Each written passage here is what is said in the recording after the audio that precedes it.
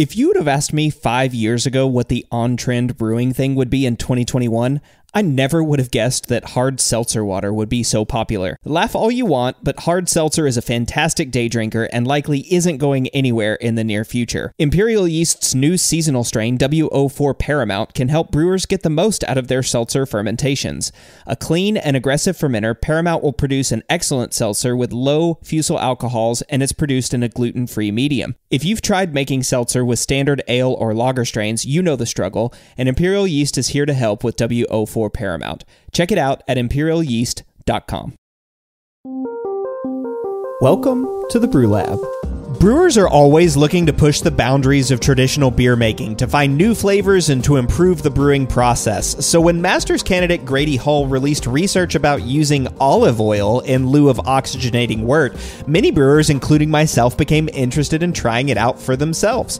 I'm your host, Cade Jobe, and today in the lab I'm speaking with Dr. Lance Shaner, an owner and founder of Omega Yeast. So, Lance has studied yeast for a while and actually owns a yeast lab. Um, so, like many, he was initially initially intrigued about using olive oil to replace oxygen, but when you dig a little deeper, he noticed that there are some holes in the underlying science. So, yeast needs oxygen to form unsaturated fatty acids and ergosterol for reasons that we'll get into in the show. But olive oil, it turns out, has a lot of unsaturated fatty acids because, well, it's oil. but olive oil doesn't have ergosterol. And ergosterol is a compound that must be synthesized by yeast. It requires oxygen for yeast to make it. So after reading Grady Hull's research, an experiment article that I performed, and an experiment, um, an experimental brewing Igor experiment, Lance realized that there's sort of a misunderstanding, at least online, um, about how olive oil could be used to replace oxygenation. And so this prompted him to write a blog post on Omega Yeast's new website, which is called Top Crop.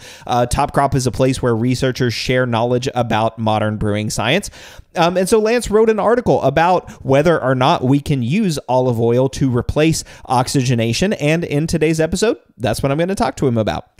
Well, we're in full swing in the holiday of the holiday season here in the United States, and I've got my lights and tree up, and I'm reminded uh, this time of year of all the things I'm thankful for, which includes Marshall and all the crew here at Brülosophy, all of our listeners and all of our patrons. And if you haven't yet considered becoming a patron, please visit patreon.com/slash Brülosophy.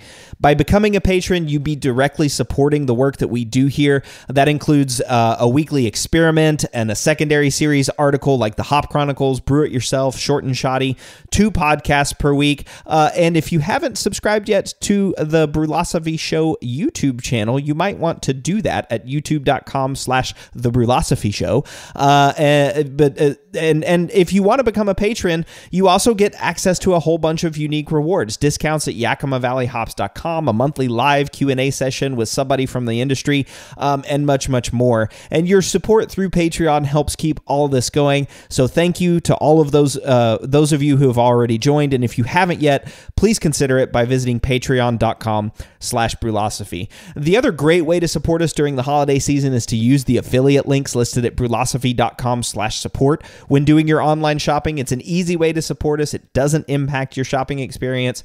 All you have to do is start with the link, and then we get a small click kickback from your purchase. Uh, you can check out all of our affiliates at brulosophy.com slash support. Feedback this week is brought to you by the imaginative crew at Haas, who've developed a revolutionary way to dry hop using Spectrum, a flowable 100% hop-derived product that's fully dispersible in cold side applications for great flavor, efficiency, and less beer loss. No solids means less loss, and it's fully dispersible in cold beer, so there's no contact or residency time required like traditional dry hopping. Spectrum fully disperses immediately, so you don't need to wait 24 to 48 hours or worry about double dry hopping, and you don't have to have any special dry hopping equipment. It stores easily, it's easy to use, saving you precious time and getting instant aroma in each batch. It's currently available to commercial brewers in trial quantities of Citra and Mosaic, so check it out by visiting johnihaas.com. That's John, the letter I, H A A S.com. All right, listener Finn wrote in with a question about yeast starters. He says, I'm rather interested in what's going on in starters, so I've got a question about the Crabtree effect. I know that fermentation is not completely shut off, even in low sugar aerobic conditions, but is the same true about respiration in high sugar conditions? I've actually been taught that there's still some respiration going on, even in a 1040 starter on a stir plate where air is mixed in, and that that explains the higher growth rate you get with a stir plate. Uh, so, hi, Finn. Thanks for that awesome question. Uh, you know, the, it's a really interesting one whether there's still respiration occurring, uh, you know, in, in a high OG starter. And I think this is in relation to uh, the episode, episode 62, that I did with Dr. Maria Mouratoglou um, about carbon to nitrogen ratios in yeast propagation. Um, and so I asked her this question a while back um, about the Cra- Crabtree effect um, and the cra- the Crabtree effect at the cellular level, and this is her response. And she says the Crabtree effect does occur at a single cell level. So a Crabtree positive yeast cell can utilize both respiration and fermentation pathways at the same time. Cells will modulate their own behavior by sensing their extracellular and intracellular environment, where things like ATP concentrations, sugar concentration, type of sugar or carbon source available. Um, noting that some carbon sources do not allow for the fermentation pathway, nutrient content, etc. It can all influence the respirofermentative balance. So cells are not locked into a certain pathway once they begin using it. So yeah, Finn, I think there's a very direct answer. Yes, there can be some respiration going on even in a 1040 stir plate. I'm not sure that it explains the higher growth rate that you get with a stir plate, but possible. Um, you know, uh, it could also be a timing thing or, or, or who knows exactly, but maybe it is is. Maybe there is um, some of that respiration that's occurring, and thus um, a higher growth rate. Uh, but it sounds like uh, you know the the that. Uh, for sure, there can def- there can be respiration occurring in high gravity starters and vice versa uh, with fermentation in low gravity starters. So cool question, and thanks for sending it in. All right, I'm going to take a quick break, and then I'll be back with Dr. Lance Shaner talking about olive oil and oxygenation.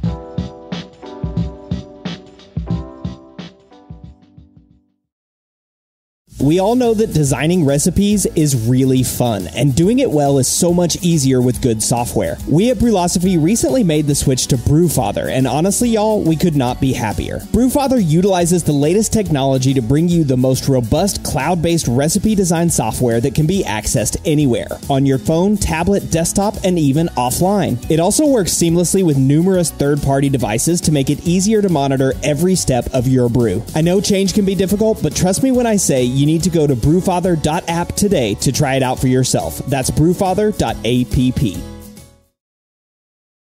Established in 1995, More Beer has been consistently serving the greater brewing community since the times IPA was expected to be bitter and clear, and there are reasons they've stuck around so long. In addition to their massive product selection and excellent customer service, More Beer has locations on both the west and the east coast of the United States, which translates into fast shipping times regardless of where you live. And when you spend more than $59, shipping is free. When you're in need of brewing ingredients and gear, there's no better option than morebeer.com, one of the most trusted shops on the planet.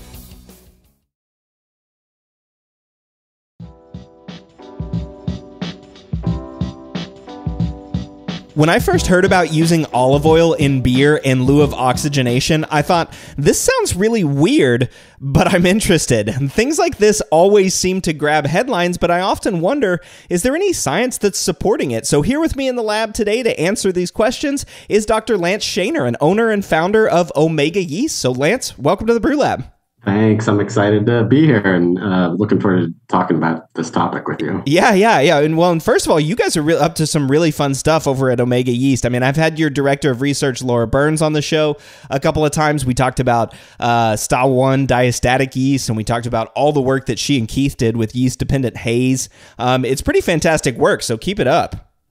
That's uh, greatly appreciated. It's definitely been uh, research has been a uh, and will continue to be a huge focus on what we do. I mean, we put a lot of uh, resources into brewing science and just answering questions that are still unknown. Yeah, yeah. Well, I love it. I mean, that's a great one too. I mean, when I talked to Laura about the yeast dependent haze one, I mean, that was the whole deal, right? A brewer's coming to you going, "Hey, we're trying to make hazy beers, but they're not hazy. What's going on?" Um, and you guys put together this whole thing about you know haze positive and haze negative and haze neutral yeast. I just think that's fantastic, and it's a incredibly useful piece of information for brewers. So I really appreciate it. But this episode's about olive oil and oxygenation. So why did you decide to write an article on this topic? Uh, I'd say we have a, somewhat of a history of kind of myth busting. Um, like very early on, um, there was kind of this notion that you could do 100% lacto fermentation uh, based on uh, a blog post, and I knew that that was you know not correct. Uh, but there were enough people out there that had read this and were trying to do it, and of course, like sometimes working, sometimes not. And the reason it lacto can't do that and I knew that. So I'm like, well, we just got to get this, you know, do the experiment that is set up properly and and show this to people. Yeah. Um, so you know, we did that, and the same thing with the trois when it used to be uh, considered a Saccharomyces. We knew it wasn't acting like one. Looked more into it, and or sorry, it was supposed to be a Brett, and yeah, uh, yeah, yeah. we looked into it, and uh, so yeah, I mean, this is. somebody's wrong on the internet. We need to we need to go and, and address that, uh, kind of that notion. Yeah. Um, and so that's kind of you know so i was intrigued by this whole idea uh, enough to like really dive into it.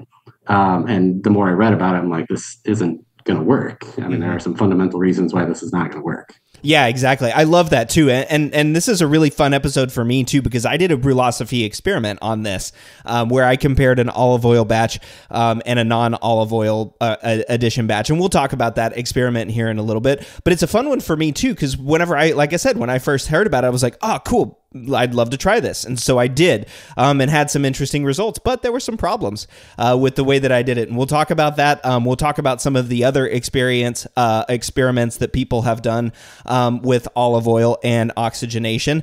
Um, but first, I always want to hear about you. So you have a PhD in biomedical sciences from the University of Texas Health Center, Health Science Center at Houston, uh, and then also a JD, uh, a Juris Doctorate from the University of Houston, and apparently worked in an IP law firm for about four years. So, um, first of all, it's really cool to talk to another former lawyer that made the switch to beer. Uh, but what made you want to open a uh, yeast manufacturing company? Yeah, I mean, I was uh, into beer in college, like a lot of uh, people are. That's where I kind of, you know, yeah. got that connection. And at the University of Illinois, we had a really good uh, homebrew club that was actually a university sanctioned club at the time. It's not anymore it's uh they i think the university maybe didn't see the wisdom in having a, a, club whose focus is on making and drinking beer so the club still exists but it's not a university club but oh, you know, well. thankfully it was at the time uh, so that's how i got into making beer um, and then ended up studying microbiology in college and then uh, same thing in graduate school studying yeast um, in the more of the human health context uh, but still just a lot of hands-on experience with yeast and with um, you know manipulating them genetically and things like that. So that's uh, so remained connected in that way. Uh, but yes then took a detour to law school uh, with the goal of being a patent attorney. So i you know i had confidence based on talking to others that if i you know made it through law school that it'd be fairly easy to get a job because it's you've got a lot of specialized training at that point. Mm-hmm. uh, you've got you know the um, science and you've got the law and you basically become the go-between between an inventor and the patent office and convey their invention into legal language. So it's kind of a unique skill set that pays pretty well. Um, so it's and i was just getting a little uh, I don't know, just the, the thought of academia wasn't uh, appealing at that point. Just seeing how much it, effort it took to beg for money all the time hmm. um, to yeah. be able to do your research. That's um, true. Which is frankly depressing that we uh, don't, you know, just put that much, put more resources toward it so more people can be doing science. It's uh, hugely beneficial to society, but it's it's a fight and a struggle. Mm-hmm. And I guess I wasn't up for that fight, so uh, just took a detour to law school. And and that, did that for like four years as a patent attorney biotech um, and enjoyed it enjoyed my colleagues uh, but was just getting a little burned out. Um, and ended up having a, a, really chance conversation with one of my colleagues at the firm who was a, a co-founder of 1090 brewing in the chicago suburbs. Oh. uh, so i mean i can literally point to that conversation as being the inspiration to start Omega Yeast because it wasn't in my thought process until then. My, my thought process was I'm getting bored being a patent attorney. Uh, and I just had this conversation and just kind of like, wow, there's nobody else doing this around here. Chicago, the brew scene is growing. Like we we could probably do this by just you know servicing Chicago and kind of looking at things in uh, a different way. And um, so just just took that leap. It was really out of uh, a result of ennui. Uh, why why Omega Yeast exists. Wow, that's amazing. I I love that. And man, I am just I'm sitting here nodding my head the whole time because I'm just like I'm like oh yeah mm-hmm yep I feel that yep mm-hmm yeah. I mean I didn't have the the PhD. I didn't do the PhD before uh you know before law school. I went straight from undergrad as a business student uh, into law school and then into family law for a number of years, seven years, uh, and now trying to work on my master's and PhD with Tom Shellhammer here at Oregon State. Uh, but it's really cool. I'm that's like nodding my head along. It's like, yeah, I enjoyed my time there. I enjoyed my colleagues, but I was getting a little burnout on some things, looking for something different.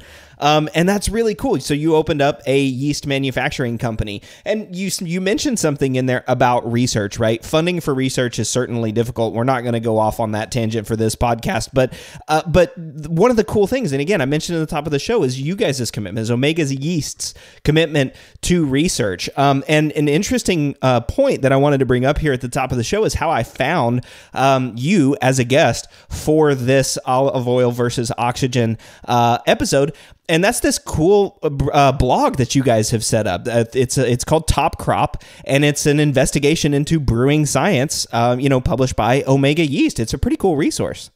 Yeah, I mean, it's really kind of our outlet for the experiments we do, for the education that we want to get across, for opinions, for just you know little uh, nuggets like this olive oil stuff that doesn't necessarily involve you know experiments we did. It's just kind of a collation of the existing research, um, you know, opinions, recipes, just kind of a forum for us to get all that stuff out there because we do put a lot of effort into this. Mm-hmm. Yeah, I mean, I think the most recent one I just saw is, uh, uh, was published last month um, is a lab basics on a budget. You've, it's in in your brewer's education, uh, you know, uh, setting. So if you're a brewer out there and looking to how to trying to figure out, you know, how do we start a micro program or how do we start a quality program, you know, lab basics on a budget. There's a step by step guide there um, uh, to to look it up. So it's really cool. Um, and so again, I found it there. Uh, I was I just happened to be perusing Top Crop and I came across this olive oil versus uh, oxygenation. I thought, yes, finally, I would love to see um, you know, if we can get him on the show and talk about it. And of course, we can. So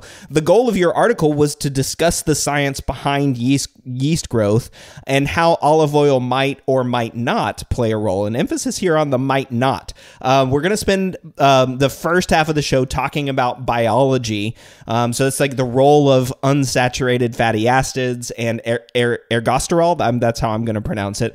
Um, and then uh, and and how each of these are are synthesized. And in the second half of the show, we're going to look at some experiments, including my experiment looking at olive oil use in a Kolsch, the New Belgium experiment that kicked off this whole discussion back in I don't know 2005 or something like that, um, and then uh, finally decide whether it's realistic to use olive oil in place of oxygenation. So it's going to be a pretty fascinating episode.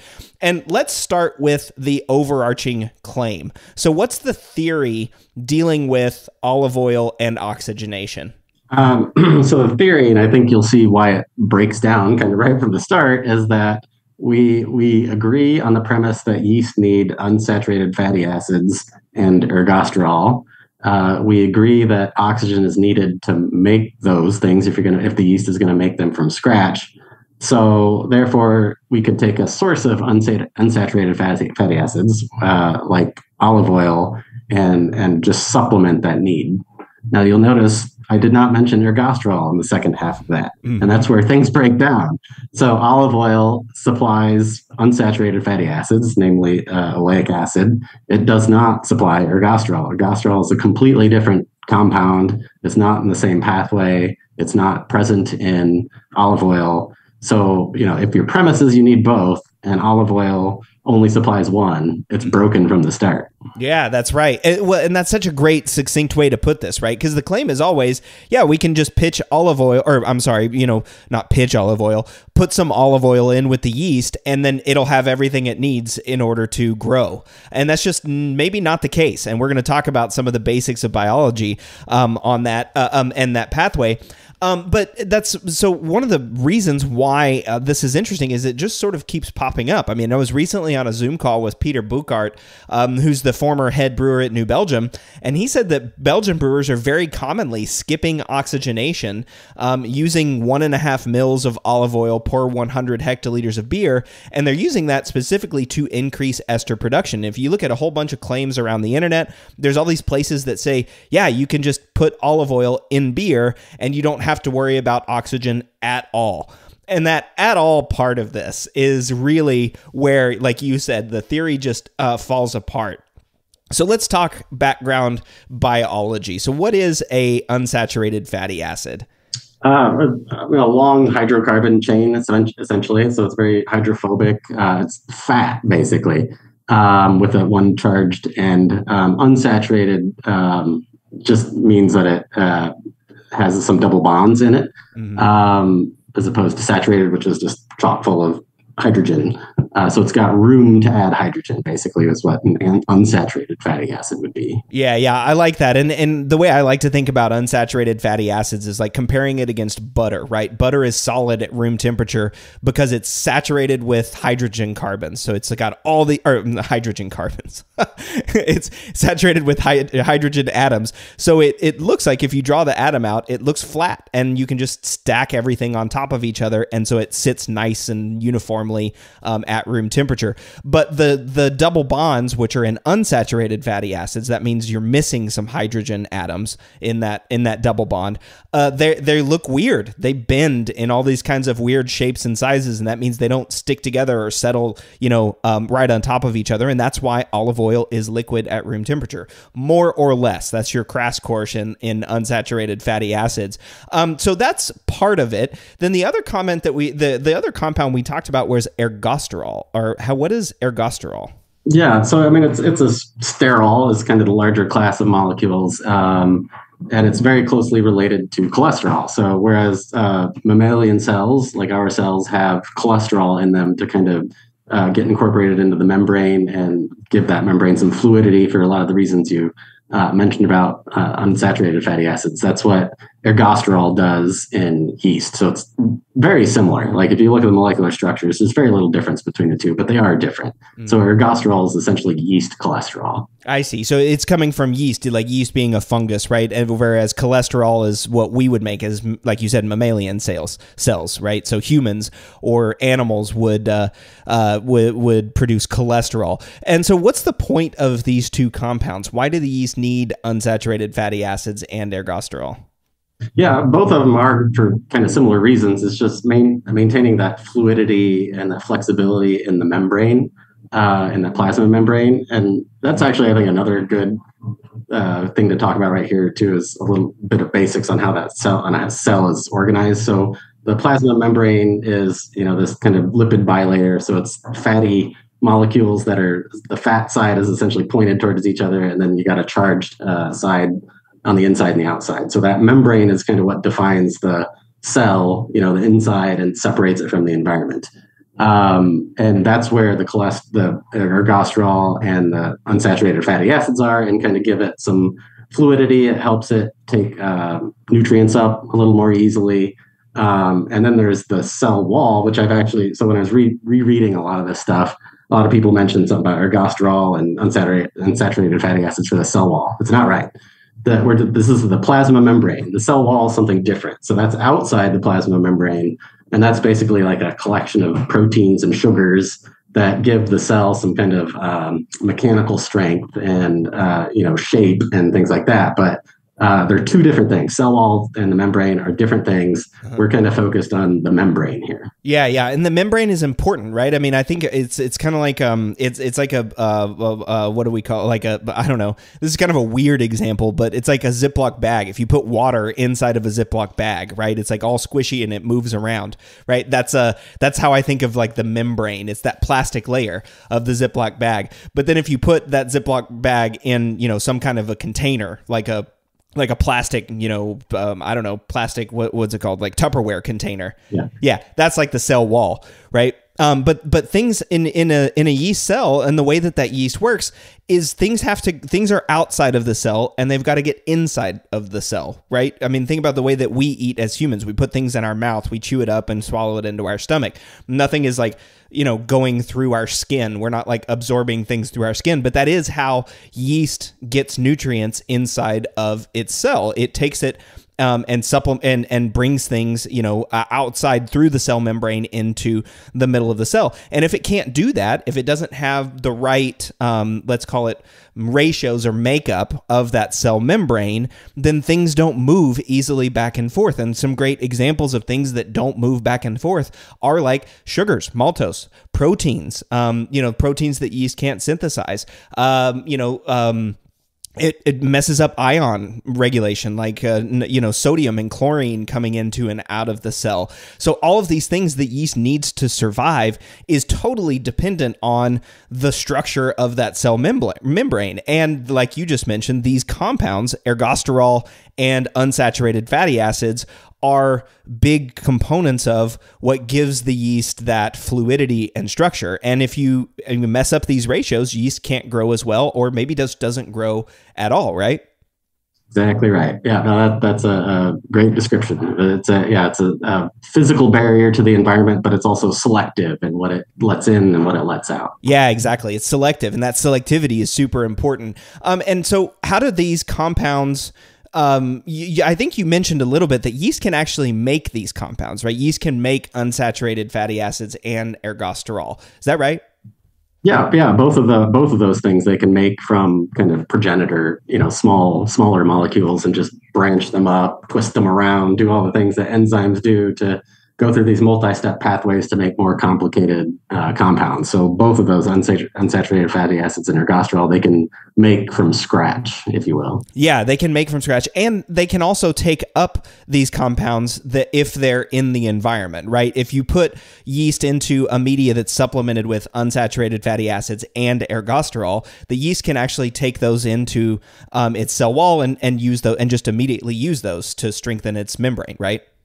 Exactly right. With both of these things, with unsaturated fatty, acid and ergosterol, you could supplement. So, you know, the way that we would kind of prove that scientifically is you'd break one of the genes necessary to make these things and say, if we just feed the yeast this compound, is it still alive, still growing?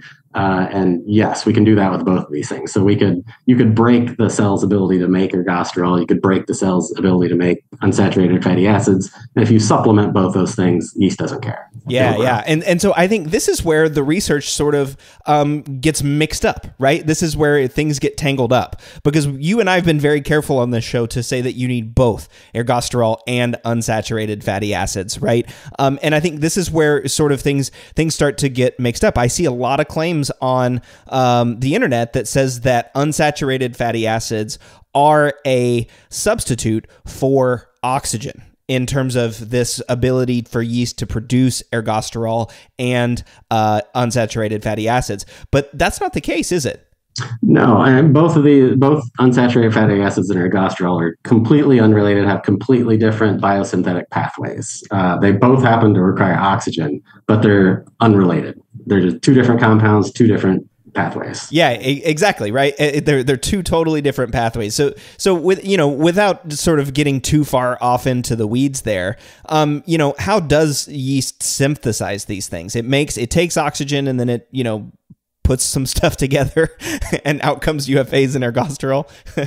yeah, I mean, like with UFAs, it's essentially starting with, uh, you know, like acyl CoAs. I mean, just smaller molecules that they just link together and they get longer and longer chains. Uh, you know, some enzymes will then uh, rip out you know, hydrogen molecules to give you the double bond so that you get those twists. I mean, it just depends on the unsaturated fatty acid. Mm-hmm. Uh, but the I think the basic premise is that it's building it up from smaller uh, building blocks and you know breaking and reconnecting different bonds and all the things that enzymes do uh, in a cell. Yeah, yeah. And then ergosterol is a little bit of a different pathway, right? I mean, just totally unrelated. It's it's not even related to UFAs. It's a totally different synthesis. How does that work?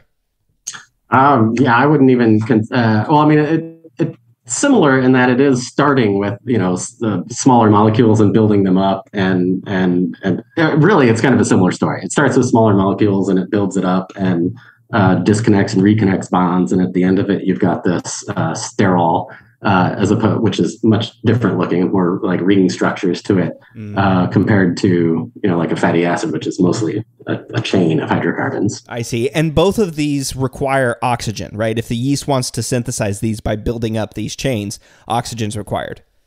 Right. In the in the UFA pathway, there is essentially one enzyme called OLE1, and it's uh, they talk about that in one of the papers that I mentioned in this article, the Decker paper. But um, that is the enzyme that requires oxygen. It uses oxygen to carry out this enzymatic reaction.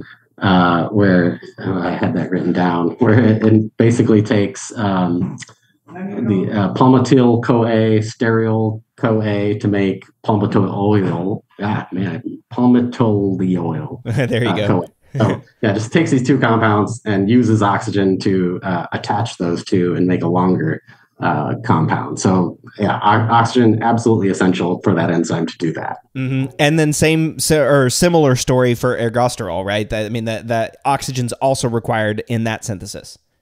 Right. So, I mean, I think uh, there's something like 19 enzymes required to make uh, ergosterol. Whoa. And uh, there's, uh, when it gets to squalene, which is like halfway through the pathway, that's when it takes uh, molecular oxygen and uh, through an enzymatic reaction makes the squalene, squalene epoxide. So it needs oxygen to make squalene epoxide. Yeah. As, as an aside, there was actually a point when I was looking over these pathways where it looked like geraniol was involved and like wait geraniol has an oxygen maybe maybe the key to this is taking olive oil you know, for ufas and geraniol for um, for the you know the substrate partway through the ergosterol pathway. And then uh, i was unfortunately found out that that oxygen requiring step is post geraniol so oh, okay. even yeah. and then and, it, and the thing is if you look at everything that comes from uh, or every step that comes after all the oxygen that's needed, you're effectively at ergosterol. So there's nothing you can do to supplement that pathway that doesn't require oxygen. So so to make so to synthesize ergosterol, you can't make it without oxygen.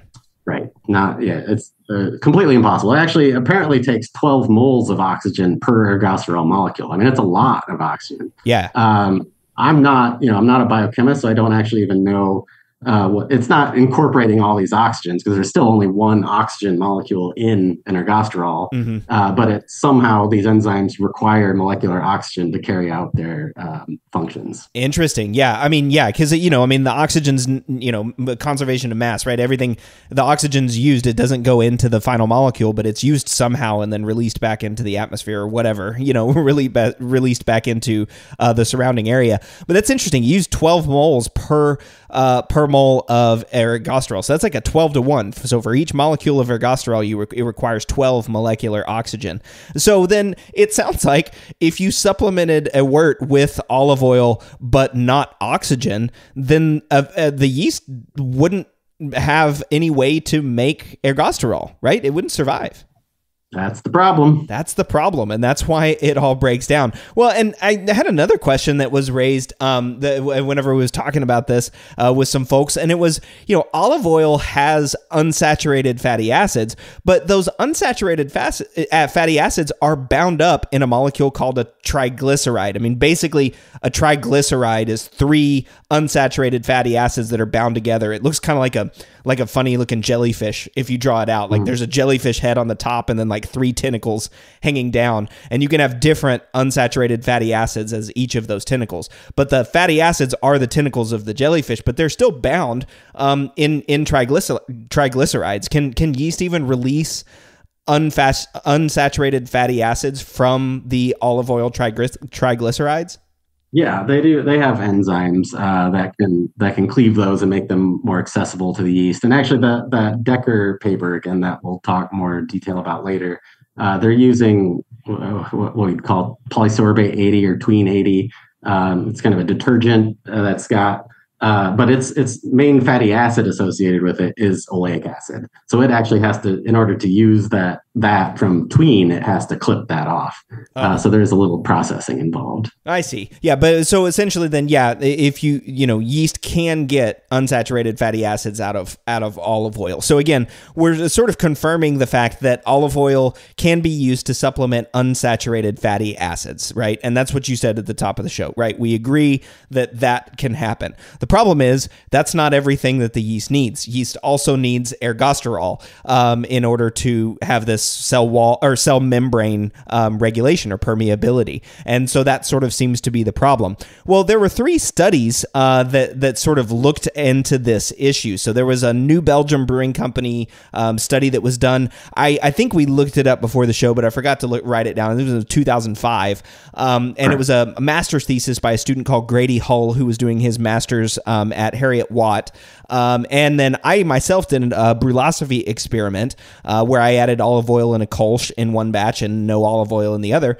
Um, and then the, the, the folks over at Experimental Brewings, Denny and Drew, had their Igors, which is their uh, their um, team of homebrewing scientists, go off and do an experiment on olive oil, uh, which all had some uh, pretty interesting results. But they all suffer from this whole um, understanding of UFAs and ergosterol. So I want to spend some time talking about those experiments, and it's perfect time to take a break before we do that. So let's do that. We'll take a quick break, and we'll be right back.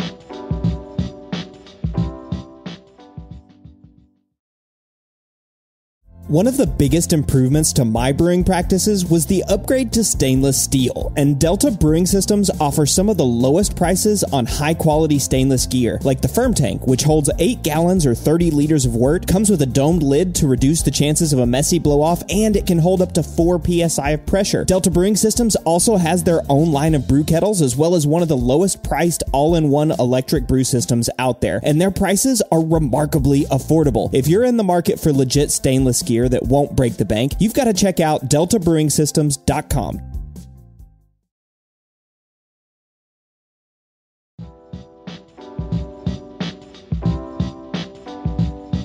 The idea of adding olive oil to wort in place of oxygen is interesting because we've learned that yeast need unsaturated fatty acids to support growth. And olive oil turns out has a lot of unsaturated fatty acids in triglyceride form. But unsaturated fatty acids aren't the only compound needed. Yeast also need ergosterol and they need oxygen to make ergosterol. So, Lance, I use oil of olive oil all the time um, in my cooking, um, and I've played around with it in beer, but it still feels feels weird to me to put cooking oil in my beer. And I like, how does you feel about it? Should it feel weird? Um, I mean, you know, not really, I guess. I mean, we're talking about, you know, pretty small amounts. So yeah. it's not, you know, I think the people who have played around with it have noted that it has no effect on flavor, it has no effect on, you know, uh, foam retention or anything like that. Um, so, you know, if it's a, supplying something the yeast needs, we shouldn't feel too weird about it. yeah, right, right. I mean, I, there's always just something like, I don't know. I mean, sub, I'll substitute olive oil when I bake or, you know, make things. And I always just expect to have that like olive oil flavor or that character. Um, and I've used olive oil in beer, and that that has never come through. And like you said, it's in really small amounts, um, which we'll talk about here in a minute. Uh, so I suppose we should start with the study that got this whole thing kicked off, right? Um, and that was the New Belgium study. So why don't you tell us a little bit about that study?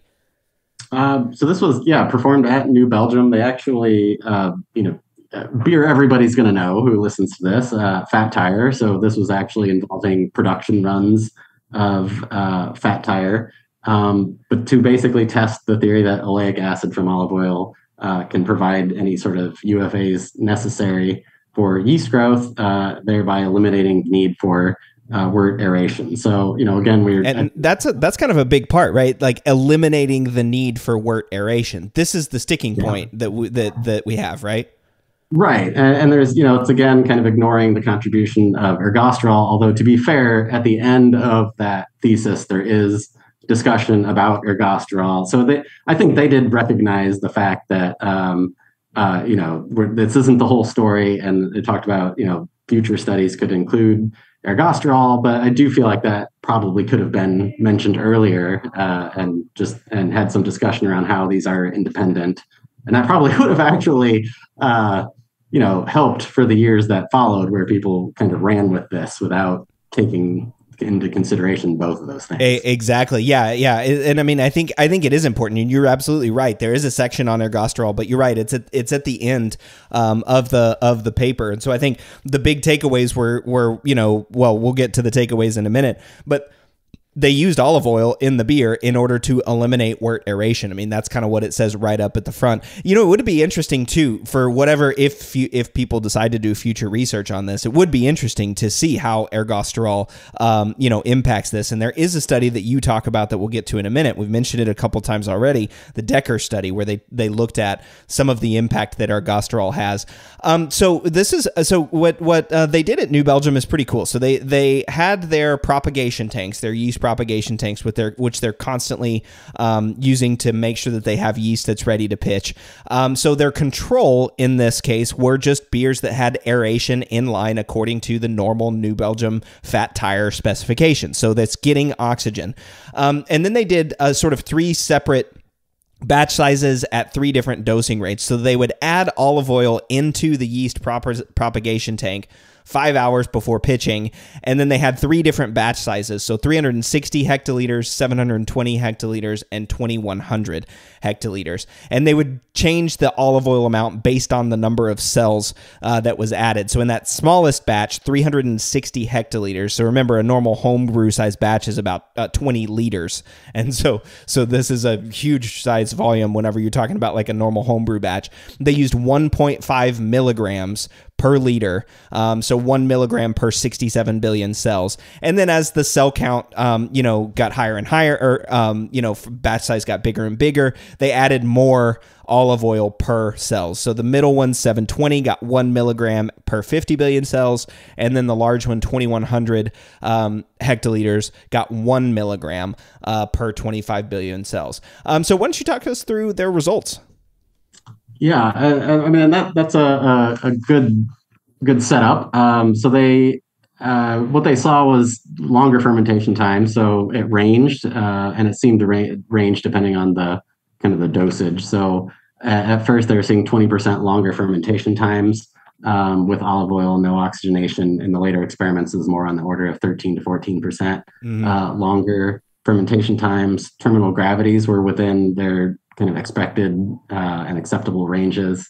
Uh, they did detect elevated ester content by GCMS, but uh, when they did tasting panels, um, couldn't necessarily, you know, see that difference in the panel, or even actually sometimes they saw slight preferences for the slightly fruitier uh, versions, but you know, nothing crazy from that. Um, uh, but they never did repitch the yeast from that, which I think is one of the yeah things that makes it inconclusive. And I, I was thinking about this today, and I think another uh, control that was kind of missing here was no olive oil, no aeration. So yeah. I, mean, I think mm-hmm. uh, we need that third control because h- how can you even say that the olive oil did anything with ex- this experimental setup unless you have another one where you don't do oxygenation or olive oil? Right. Uh, yeah.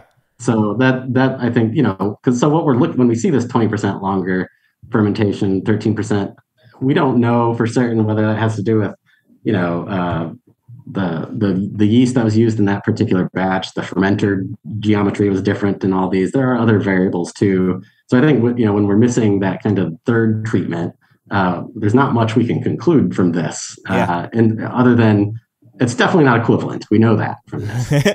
Yeah, exactly. You know, I mean, the, the, but the, and the the takeaways from this are interesting, right? The olive oil one, which you would think again by spiking uh, olive oil in here, you're giving the yeast the unsaturated fatty acid, so it doesn't need to go down that that synthesis or that biosynthesis pathway. So you would think, hey, that might speed up fermentation times, but they didn't see that at New Belgium, and so I think that's sort of you know that's kind of a tick against. Okay, well, we're doing this to help the yeast, and if we're having longer fermentations, um, you know, that's not necessarily an indicator indicator that it's that it's helping. But again, you're right. We're missing this sort of negative control. Now, the one thing that that um, was interesting is uh, the tasting panel didn't necessarily detel- detect any differences, right? For the for the most part, or like you said, they even and may have had some preferences for slightly fruitier versions of Fat Tire, even if there were elevated esters. Um, and then again, the third one, uh, the final one, no re- repitching of yeast. I think that's another big one as well, and that's kind of a fatal flaw um, through all of the experiments, as we'll see. Um, so I wanted to jump then next to the experiment that I did uh, with Brülosophy, and so my research question was, um, I was I saw this, um, saw people talking about this, um, you know, thesis from Grady Hull and the New Belgium experiment. I was curious how a beer dosed at a homebrew scale um, with olive oil might compare to one that wasn't aerated at all. Um, and so I decided to test this out for myself. I brewed a Kolsch beer, and at yeast pitch, well, first of all, I should say I brewed a Kolsch, Kolsch beer according to like my normal standard practice at the time, um, which involves racking out of the uh, kettle and just kind of splashing it into the fermenter, right? So there's some oxygenation that's happening while I'm racking the the uh, beer into the fermenter, but I'm not actually like oxygenating in line. I'm not using an oxygenation wand or adding any um, pure oxygen to the fermenter. That's just kind of my normal standard package. Um, and then at pitch, I pitched um, fresh pouches. That's an important one. Fresh pouches of Imperial's uh, G03 Dieter uh, into each batch. So each batch got a fresh patch fr- uh, from the manufacturer. And then one batch got eight milliliters of olive oil, which is remember I said I said 1.5 um, uh, micrograms, right? Milligrams, no, 1.5 milligrams per liter. Um, I added eight milliliters of olive oil, which is just a ridiculously large, larger um, amount. Uh, and neither batch was oxygenated except for that normal splashing uh, during transfer. And when I did that experiment, I actually saw that the beer dosed with olive oil fermented faster. It started earlier and it finished actually two days earlier than the non-dose batch. Um, just like New Belgium, both gravities were identical. Um, or I mean, I should say that separately. My gravities were identical. New Belgium's may not have been identical, but they were within the spec range of what fat tires should be at. Um, and then I served to tasters. I served to 21 tasters, and we do a triangle test. So that's two cups of the olive oil dosed beer and one cup of the non dosed beer. And in that study, would have needed eight to achieve statistical significance, but only got five correct, which is a p value of point uh, eight eight. Um, and so that's so that was sort of my result. So if you look at the results that I saw in that study, one tasters weren't able to tell a difference even with a crap load of olive oil in there. Um, uh, the beer started to ferment faster, um, and it finished two days earlier. So those seem to be interesting points. But I think there's a couple of problems um, with the experiment, and I'll let you go through those because you pointed those out on Top Crop.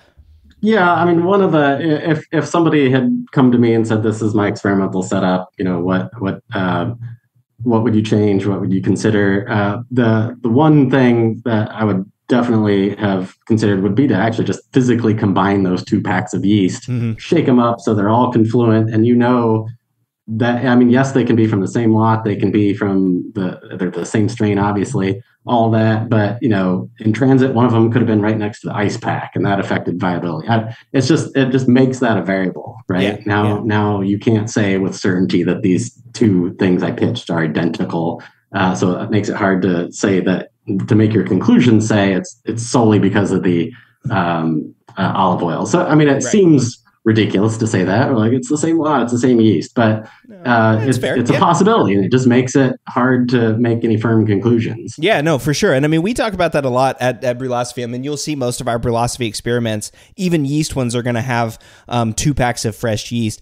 And it's just because of discussions that we've had with Imperial yeast, and also we're comfortable with the assumptions that the lot variability is going to be the same for at least the purposes that we're doing in Brülosophy. But it's absolutely a valid criticism, right? Um, uh, that that we should have mixed these yeast um, together so that there's no differences. Because, for example, exactly like uh, Lance is saying, that beer might have started fermenting earlier because it just was, you know, better quality yeast in that pack for whatever reason during shipping or storage or you know how it was you know transported in my car on the way home from the homebrew stop uh, shop any of those things um, could have impacted that but again uh, you know another what, what i'm learning is a critical design flaw of this um, this uh, study is this is also uh, you know, fresh yeast that is hasn't been propagated. It hasn't been reused.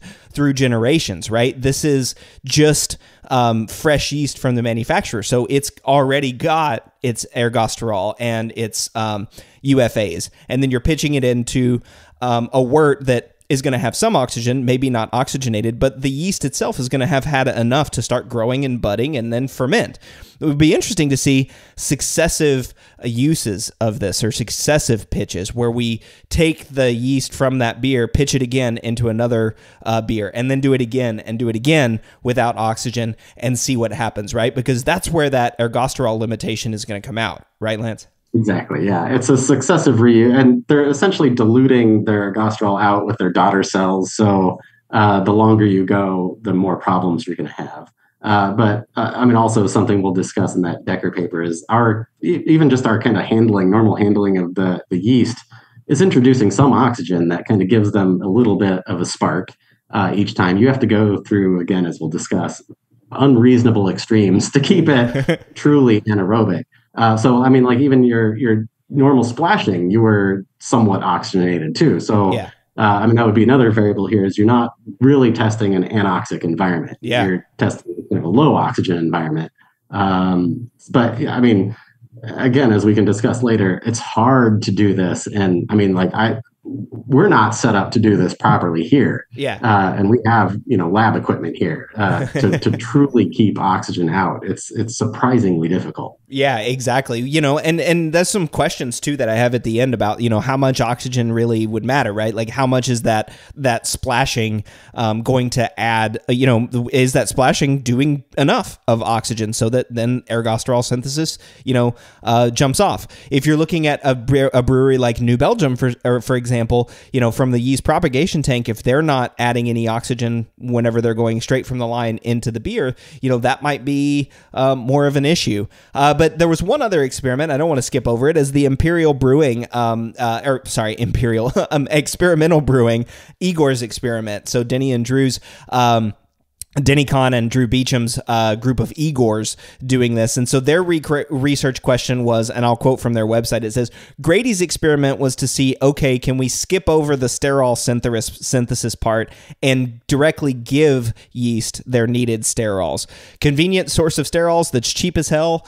Oil, and the bonus is you need very little oil to deliver the necessary amounts of sterols for optimum yeast condition. Let's try it. So that was their, uh, that was their, uh, their experimental uh, question. And so they did. They had six Igors uh, go out and do this. They brewed an amber ale recipe, which is similar to Fat Tire. They added 50 microliters of olive oil. So again, way less than what I added. I added eight milliliters um, they added 50 microliters, which is much more consistent um, with what uh, New Belgium uh, New Belgium did. Um, they didn't have a lot of details about yeast pitching or oxygenation or aeration, uh, but they did have their Igors serve the beer to tasters, and the tasters were unable to perceive a difference um, in those six different um, experiments. So that's still that's actually the third um, you know example that we've had where tasters weren't able to taste a difference with a beer that's used with olive oil. That's kind of interesting.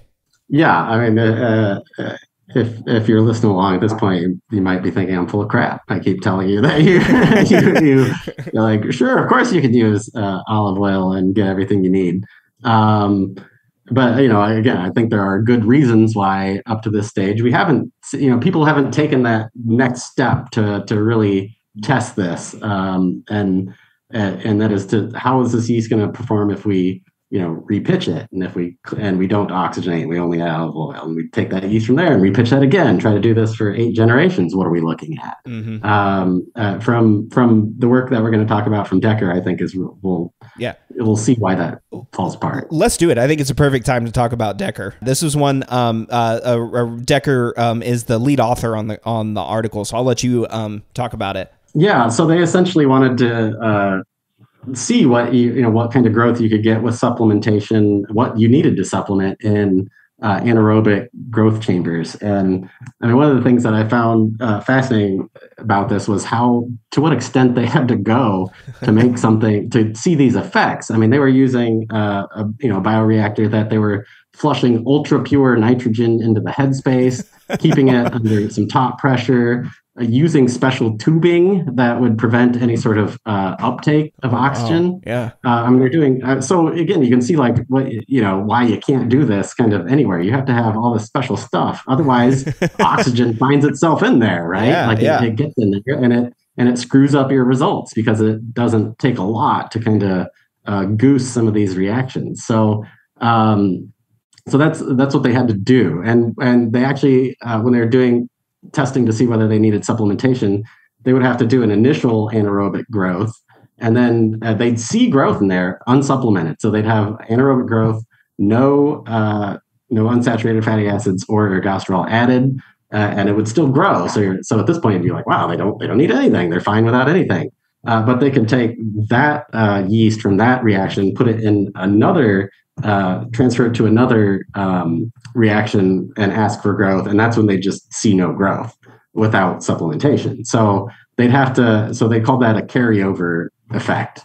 Um, so when they're growing this this yeast initially in their aerobic conditions, the the yeasts are chock full of ergosterol and sterol. They transfer them to anaerobic, and and they can basically divide that out into their daughter cells up to a point. Uh, so that's kind of what they were discovering is that point. Like there's at some point there they've diluted these things out so far that growth ceases. Yeah, exactly. So yeah, so they they've they've they've essentially just been repitching the yeast under anaerobic conditions without supplementing UFAs, unsaturated fatty acids, without supplementing ergosterol, and at some point they reached it where the yeast stopped growing. It didn't have what it needed um, in order to grow, and that and they kept the control right. The control going through this whole time. Each successive pitch of the control gets supplemented with oxygen, and it just you know lives on in perpetuity, like a propagation chamber, and like brewers have been doing for hundreds of years. Um, but when you take those things, UFAs and ergosterol, away from the yeast, yeah, they stop growing, and that's pretty cool. And there was also a really interesting finding um, that that they did. Uh, So they said, okay, we've now got these yeast pitches um, that aren't growing, or at least have stalled growth. What happens now if we add ergosterol back in? Uh, so what happened there? Right. Yeah. So when they added ergosterol back, uh, mind you, they're not adding UFAs back. They actually saw uh, growth again. uh, so uh, the the conclusion there is under anaerobic conditions, uh, it almost seemed not even fully necessary to have the UFAs. Yeah. So uh, it was ergosterol that had caused them to stop growing.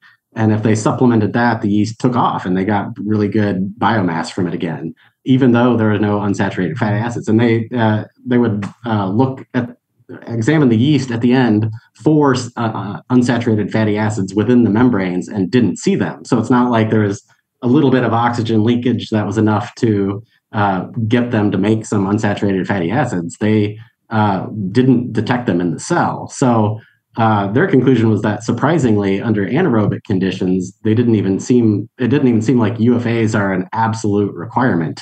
Um, but but they did, and I think prior work had also established that aerobic growth, uh, if you have, say, for example, the broken OLE1 gene, uh, which uses the oxygen to make UFAs, you have to supplement UFAs for that uh, yeast to grow. Um, so we, we know under um, aerobic conditions they do need UFAs, and if they can't make themselves, you have to supplement it. But it seems to be a little different under anaerobic. Under anaerobic conditions, see, this is I say that I feel like I say this all the time on the Brü Lab, pod, podcast. Is this this is fascinating, right? Um, um, and and I think you know this is to me this is one of the biggest and most exciting things to take away from this whole episode is is that this the the the yeast when you didn't supplement with uh, UFAs and ergosterol, they stopped growing add the ergosterol back in and they start growing again. Like so you said, it, it kind of indicates, at least in their paper, that ergosterol might be the one that uh, determines whether or not yeast grow. Again, with that in, in under anaerobic con- conditions. Um, that coupled with the aerobic uh, research saying under aerobic conditions they do have to have uh, UFAs. But this kind of highlights all of the problem um, with the three different experiments, right, that we talked about, and all of the discussion online about olive oil and oxygenation and trying to replace oxygenation totally. Um, with olive oil. And you had a really awesome um, quote.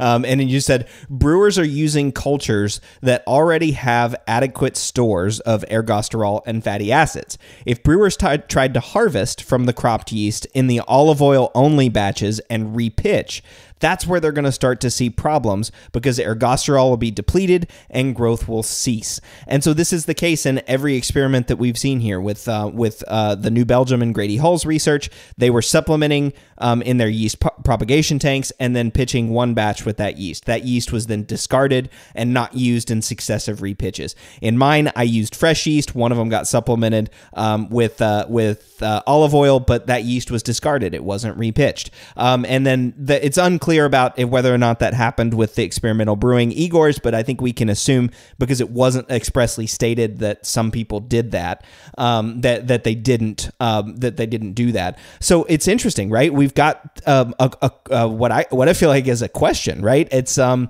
it's it's what you know. Well, is olive oil even worth it? right? Yeah, and and I don't, you know, I don't. I, it's not going to hurt. Like right. I don't think you're, you know, we uh, there's plenty of science out there that shows that yeast can uh, take UFAs from the environment and use them. So it's never going to hurt to supplement. Uh, they'll they'll take them up. They'll use them.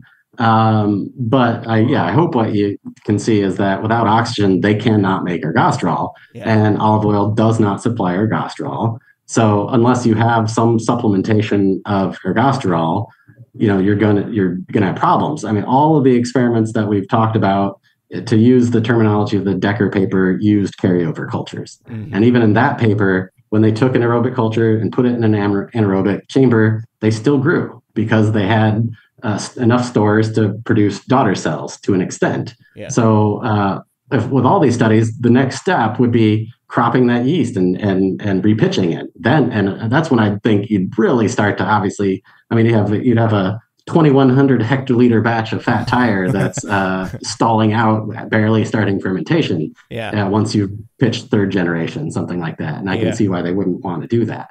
Um, yeah, that's a good point, right? but maybe there's an opportunity to do that like in, in some you know lab conditions or something. Um, like you said like uh, you know i mean i don't know it'd be tough because again you have to have that that just totally anaerobic environment where there's no oxygen getting in. I mean even in a flask right? Even if you were in a one liter flask doing a, a you know a, a, fermentation that headspace oxygen is going to be probably enough um, to to produce at least some er- ergosterol to produce some, but I, I mean, I would wager that even if you did carry this out, you know, even at a, at a homebrew type of setup or in our lab setup, you're going to see problems. They're they're they're not going to ferment, you know, quickly or to completion um, doing this, even when you can't fully keep oxygen out of the system. Yeah. Because uh, I think th- they're going to need more. I mean, like we talked about, you need 12 moles of oxygen per molecule of ergosterol. It's quite a bit. Yeah. Um, so at some point, you are going to be depleted. You're going to have unhealthy yeast. Yeah, yeah. At some point, you're going to get there. And that was one of those questions I was going to ask. I think I mentioned it earlier, but it's like, is there enough oxygen that's incorporated during transfer, you know, to make ergosterol? And I think the question on there, the the the answer there is one of my favorite lawyer answers. I can say this talking to another lawyers. It depends, right? If you're if you're splashing all over the place in a five gallon fermenter, then yeah, maybe there's enough oxygen there to make ergosterol. If you're transferring from a yeast propagation tank to a 2100 hectoliter batch? Probably not, right? Or not even from a propagation tank, from you know carrying over from 2100 hectoliters to another 2100 hectoliters to another to another. You know, yeah. Uh, at, at some point, no, there's not going to be uh, um, enough oxygen in that yeah. wort. There's probably some strain dependency there too. I mean, what we see with a lot of things with yeast is there's oh, yeah. big time strain dependency, and like some of them seem like they need more oxygen than others. But I mean, I think I think any of them if you tried to carry this out, you know, eight to nine generations with uh, very good control over oxygen and depriving them of it, it's it, it's not going to work. Yeah, yeah. Well, you know, and I, I mean that's such a just a cool takeaway from this experiment too, right? Or from from uh, from what you wrote here on on Top Crop and your deep dive into it. I love it, right? Because we start by saying, okay, can we add olive oil and eliminate oxygenation? Um, and the answer to that is probably not, right? It is because there's two pieces. There's the unsaturated fatty acids and there's ergosterol, and oxygen is absolutely required for ergosterol synthesis. Um, and when you when I read this article, I remember it just kind of all clicked together for me as like, oh, okay, that makes sense. And so then I start to think about you know brewers like Peter Deck, Peter Peter Bouckaert, um, who are you know in Belgium, you know supplementing one and a half milligrams per liter or per hectoliter of olive oil, um, and then not oxygenating. I wonder how they're making the beer. There's got to be some other way that oxygen is getting in there. Maybe because they're fermenting in in uh, foeders. Yeah, I mean maybe it's an open fermentation. Uh, I would be very curious to know what they're doing, uh, just to to see because I mean again we know you know scientifically you need oxygen to make ergosterol. Yeast need ergosterol. Yeah. So if they're if they're doing what they say they're doing and going you know 10 generations out and fermentations seem fine they're getting oxygen from somewhere Somewhere. Yeah. uh, they cannot grow without it yeah. Yeah. um, You mentioned that too, right? Like like Saccharomyces cerevisiae has been studied for hundreds of years, right? I mean, we we know well, maybe not hundreds, yeah, hundreds. We can say hundreds at this point. Yeah, it's been studied for a long time. It's probably, if not the most, it's one of the most well studied microorganisms on the planet. absolutely so so we can say really pretty convincingly that ergosterol requires oxygen. It's just been proven a number of times, um, and so that's cool. Well, hey, well, um, Lance, we've talked about a whole bunch of stuff today um, on olive oil and oxygenation. If you want brewers to take away just one thing from today's episode, what would it be? um, that olive oil is not going to hurt anything um, but you know if if your goal it's but it's not going to replace oxygen essentially that's it olive oil uh, can supplant the need for um, unsaturated fatty acids but it's uh, not going to replace the need for uh, oxygen because of the need for oxygen the synthesis of ergosterol. Um, you could go out if now if you go out and you find olive oil and ergosterol absolutely uh, you could do that but um, there is not a cheap source of ergosterol Yeah, I, I, I guess we kind of did skip over that, right? Like ergosterol, I'm sure there's not a, like a, a cheap manufacturer or a good source of ergosterol because that's it's from you know fungi, it's from you know yeast and and and that that uh, um, uh, kingdom, I guess maybe.